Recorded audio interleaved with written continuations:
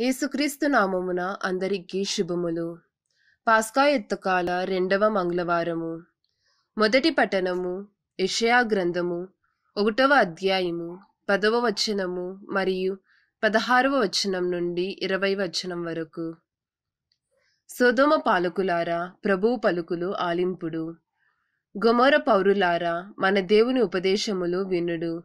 మిమ్ము మీరు కడుగుకొని శుద్ధి చేసుకొనుడు. మీరు నా ఎదుట దుష్కార్యములు చేయకుడు చెడ్డను విడనాడుడు మంచిని చేపట్టుడు న్యాయమును జరిగింపుడు పీడితులను ఆదుకొనుడు అనాథ శిశువులకు న్యాయము చేయుడు వితంతువుల కోపు తీసుకొనుడు ప్రభువు ఇట్లనుచున్నాడు. మన వివాదమును పరిష్కరించుకొందుము. మీ పాపములు సింధూరము వలె ఎర్రగానున్నను. మంచు వలె తెల్లనగును. కెంపు వలె ఎర్రగానున్నను ఉన్ని వలె తెల్లనగును. మీరు నాకు విధేయులగుదురేని భూమి నుండి పండు మేలి వస్తువులను భుజింతురు. కాని నా మీద తిరగబడుదురేని మీరు కత్తివాతబడుదురు ప్రభువుడనైనా నేను పలికిన పలుకిది. ఇది ఏలిన వారి వాక్కు సర్వేశ్వరునికి వందనములు. భక్తి కీర్తన అందరూ. నీతి మార్గమున నడుచువానిని నేను రక్షింతును. నీతి మార్గమున నడుచువాన్ని నేను రక్షింతును.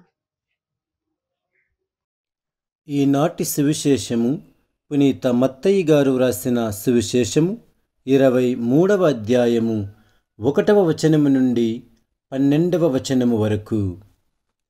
అప్పుడు యేసు జనసమూహములతోనూ తన శిష్యులతోనూ ఇట్లనెను ధర్మశాస్త్ర బోధకులను పరిసెయ్యులను మోషే ధర్మశాస్త్రమున ఉన్నారు.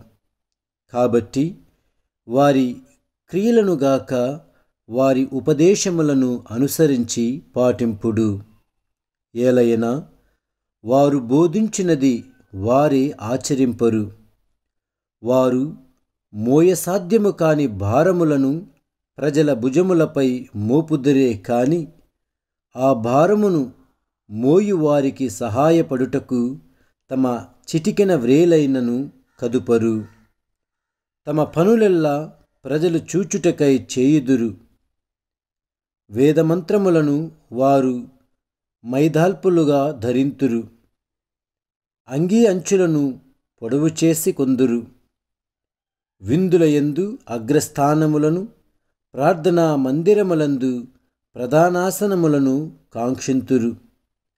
అంగడి వీధులలో వందనములను అందుకొనుటకు బోధకుడా అని పిలుచుకొనుటకు వారు తహతహలాడుచున్నారు.